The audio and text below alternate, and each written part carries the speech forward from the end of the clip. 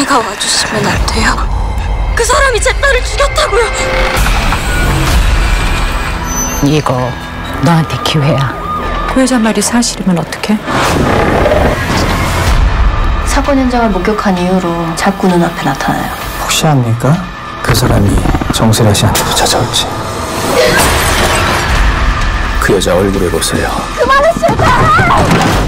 그날 무슨 일이 있었나요?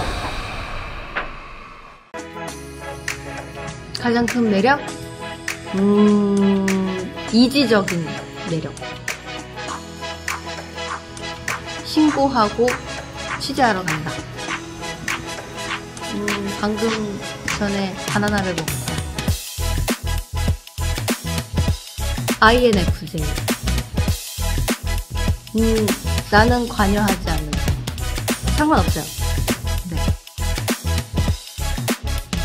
앵커는 아니 앵커에서 커리어 우먼으로 나옵니다.